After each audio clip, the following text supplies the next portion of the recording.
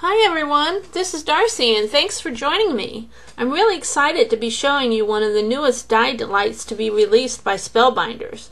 Just in time for the upcoming holidays, Die D-Lite Icicles is perfect for your Christmas and winter creations. Today I will share with you a few techniques on how to create your own frosty window card. Let's get started.